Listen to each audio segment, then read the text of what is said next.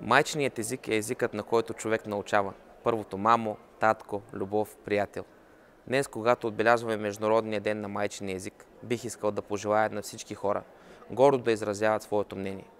Богатството на езикът е част от богатството на традицията през вековете. Насърчаването на езиковото и културното многообразие са ключови цели на Европейската общност. И именно за това на тях гледаме като на световно богатство, а не бариера. Честит Международен ден на майчиния език. Ana dili insanın doğumundan itibaren öğrendiği dildir.